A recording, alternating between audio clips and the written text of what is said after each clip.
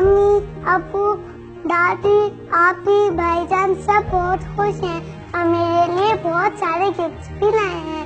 میں بھی بہت خوش ہوں۔ لیکن میری اصل خوشی تب ہوگی جب اللہ اور اس کے رسول صلی اللہ علیہ وسلم مجھ سے راضی ہوں گے۔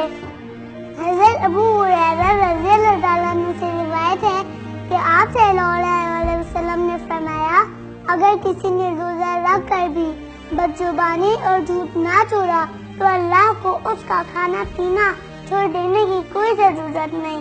اس رمضان میں میں اللہ تعالیٰ سے یہ پرومس کرتی ہوں کہ میں نمبر ون جھوٹ بات نہیں بولوں گی، نمبر ٹو میں بیگ بیٹھے نہیں کروں گی، نمبر تھری میں غصہ نہیں کروں گی، نمبر فور میں نعمتوں کی نا شکر گزاری نہیں کروں گی، نمبر فائیو اپنے والدین اور بڑوں کا ہمیشہ احترام کروں گی اور کبھی بھی لڑائی جھگڑا نہیں کروں گی۔